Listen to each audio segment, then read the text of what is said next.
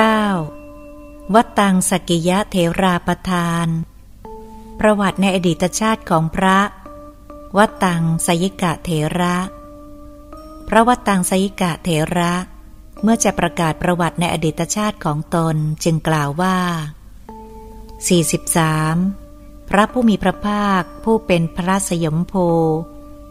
ผู้ไม่ทรงพ่ายแพ้ พระนามว่าสุเมธะ เมื่อจะทรงพอกพูนวิเวก จึงเสด็จเข้าป่าใหญ่ 44. ข้าพเจ้าเห็นดอกช้างน้าวบานสะพรั่ง จึงนำมาร้อยเป็นพวงมาลัย บูชาพระสัมมาสัมพุทธเจ้า ผู้ทรงเป็นผู้นำสัตว์โลก เฉพาะพระพักของพระพุทธเจ้า 45. ในกับที่สามหมื่นนับจากกับนี้ไป ข้าพเจ้าได้ใช้ดอกไม้บูชาไว้ จึงไม่รู้จักทุกขติเลย นี้เป็นผลแห่งการบูชา พระพุทธเจ้า 46. ในกับที่ 119 นับจากกับนี้ไป ได้เป็นพระเจ้าจักรพรรดิ16 ชาติ พระนามว่า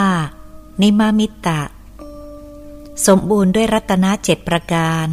มีพลานุภาพมาก 47 คุณวิเศษเหล่านี้ คือปฏิสัมพิทาสีวิโมกแปดและอภิญญาหกข้าพเจ้าได้ทำให้แจ้งแล้วคำสั่งสอนของพระพุทธเจ้า ข้าพเจ้าได้ทำสำเร็จแล้ว ดังนี้แล ได้ทราบว่า ท่านพระวตังสกิยะเถระ ได้พาสิทธิคาถาเหล่านี้ ด้วยประการชนี้วตังสกิยะเถราประธานที่เก้า จบ